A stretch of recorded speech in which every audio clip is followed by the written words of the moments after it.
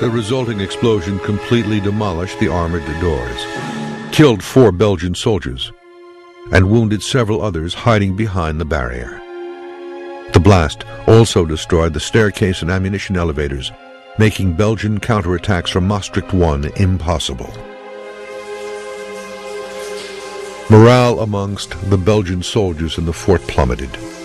There wasn't much opportunity for further counterattacks against the German invaders.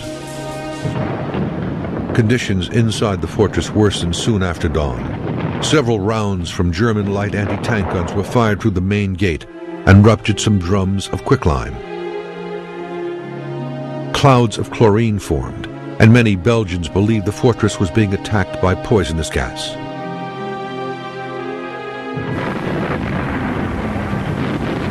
on the morning of May 11th. The Germans tried to cross the Albert Canal near Kanne several times, but were forced back by the fire from Canal Nord. Here the flash of its 60mm cannon can be seen as men of the 51st Pioneers try to cross the canal to relieve Group Granite at Fort Eben Emael. In time, Fort Eben Emael was surrounded by German troops, but several Belgian positions continued firing. After consulting his superiors, Major Jottrand decided to surrender.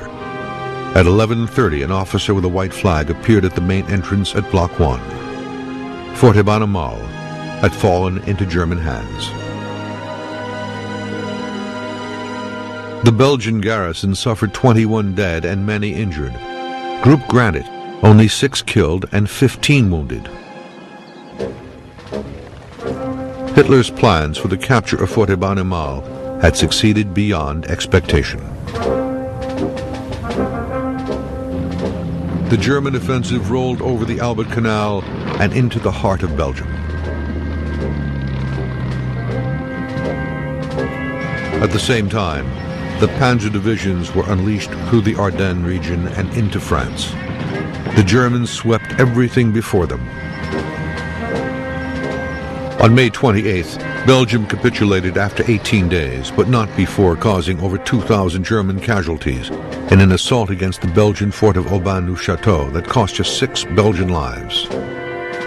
Hitler was quick to honor the men of Sturmabteilung Koch. Each of the officers was awarded the Knight's Cross, and all of the other ranks received the Iron Cross except for Private Schmidt.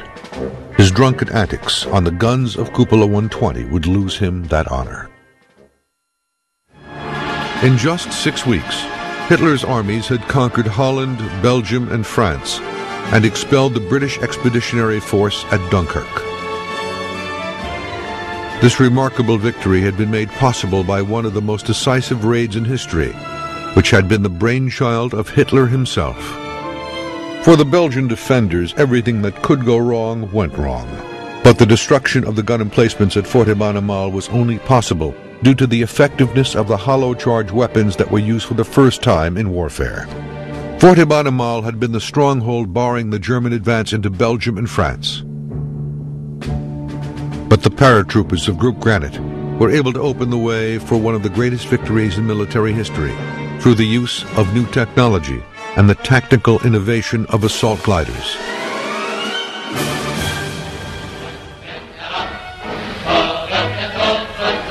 Nazi Germany was never again to realize such an overwhelming triumph.